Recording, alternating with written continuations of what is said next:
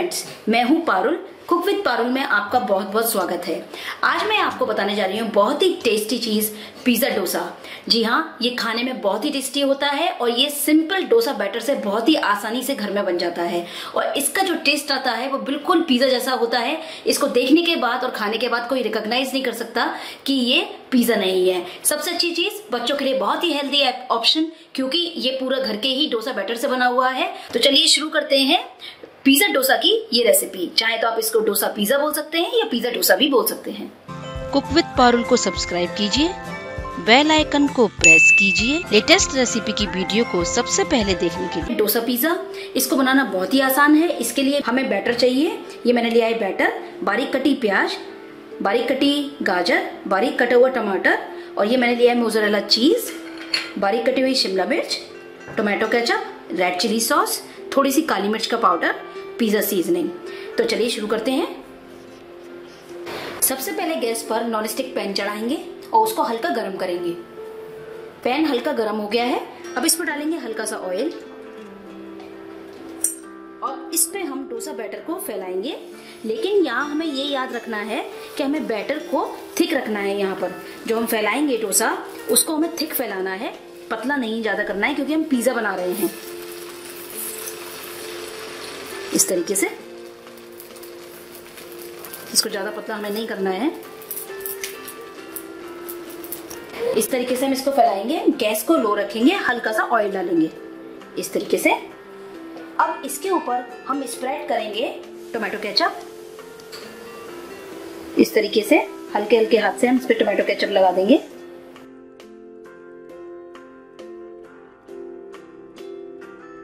अगर आपको मीठा नहीं चाहिए तो आप इसको स्किप कर दें।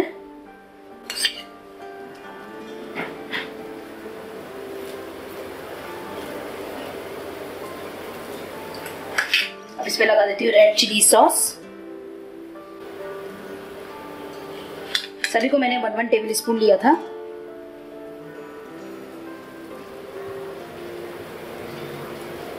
और बिल्कुल लो रखें फ्लेम को, यहाँ पर।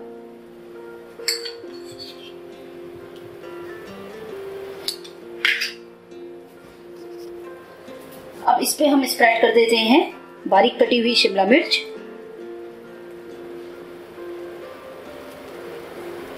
ये हम पिज्जा की तरह बना रहे हैं तो हम वही चीज़ें ले रहे हैं। आप यहाँ पर स्वीट कॉर्न का भी इस्तेमाल कर सकते हैं।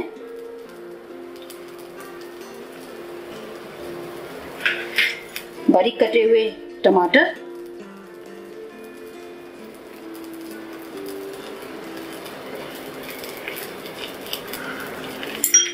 गाजर। बहुत ही बढ़िया बनता है, बहुत टेस्टी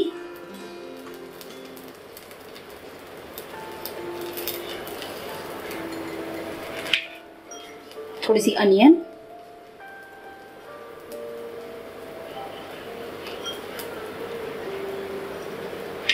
अब इसके ऊपर हम थोड़ी सी डाल देते हैं काली मिर्च पाउडर इस तरीके से।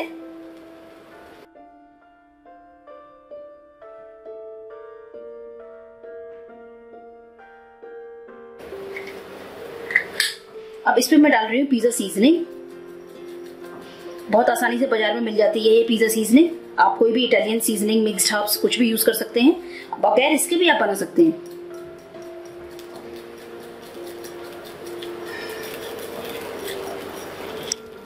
अब इसके ऊपर हम ग्रेट कर देते हैं मोजरेला चीज़ अच्छी तरीके से। आप प्रोसेस चीज़ का भी इस्तेमाल कर सकते हैं यहाँ पर।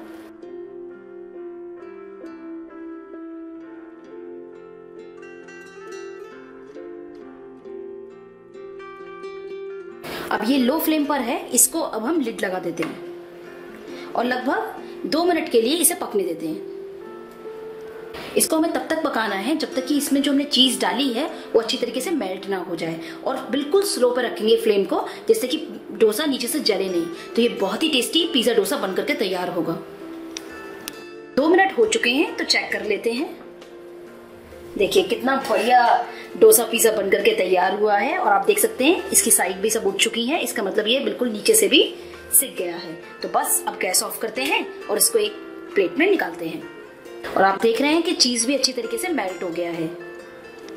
आप देख सकते हैं, डोसा पिज्जा बन करके बिल्कुल तैयार है और ये लग रहा है कि ये डोसे का बना हुआ है। बैटर से कितना टेस्टी और ये कहीं ज़्यादा टेस्टी लगेगा आपको पिज्जा से। सबसे अच्छी बात, एक हेल्दी ऑप्शन बच्चों के लिए। पिज्जा इस तरीके से डोसे का घर में ही बनाकर झटपट बना सकते हैं, उनके लंच बॉक्स में भी रख सकते हैं। आप कोई छोटी सी पार्टी हो घर में तो इसके मिनी साइज़ के आप पिज्जा बना सकते हैं। डोसा पिज्जा सबको एज अ एपिटाइजर वो बहुत ही पसंद आएँगे। देखिए, अब मैं इसको कट कर लेती हूँ। आप इस टाइप का या तो पिज्जा कटर ले लें, या आप इसको नाइफ से भी कट कर सकते हैं। तो बिल्कुल इसी तरीके से आप इधर से भी इसके पीसेस कर लेती हूँ तो ये चार पीस में डिवाइड हो गया। जैसे पिज्जा का होता है। बस अब आप इसको प्लेट में सर्व करें सॉस के साथ। तो ये देखिए डोसा पिज्जा बिल्कुल तैयार है। इसको खा के कोई नहीं बोल सकता कि ये जो है, डोसा बैटर से बना हुआ है। आप इसे ज़रूर ट्राई किए और करें। और जैसे मैंने बताया है कि आपके घर में अगर कोई छोटी मोटी पार्टी होती है तो आप इसे एज ए स्टार्टर बनाइए। सब लोगों को ये बहुत ही अट्रैक्टिव लगेगा। छोटे छोटे आप बनाइए। बहुत ही देखने में सुंदर लगते हैं और अट्रैक्टिव भी। ये देखिए, कितना बढ़िया और क्रंची बना है। बच्चों को और बड़ों को सभी को बहुत पसंद आएगा और कोई पहचान नहीं पाएगा, ये बैटर से बना हुआ है। तो एक बार आप इस रेसिपी को ज़रूर ट्राई करें। मुझे उम्मीद है कि आपको मेरी ये रेसिपी बहुत पसंद आई होगी। हमेशा की तरह मेरे वीडियोस को लाइक करें, ज़्यादा से ज़्यादा शेयर करें और चैनल को ज़रूर सब्सक्राइब करें। Enjoy cook with Parul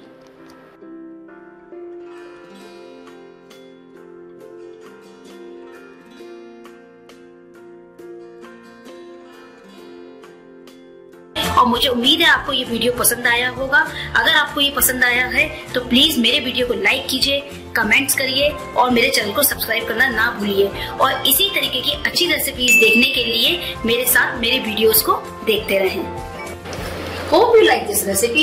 Your views matter to me. Your encouragement support means lot to me. So please click the subscription button and share the videos, watch the videos, keep watching, enjoy smart cooking with Cook with Música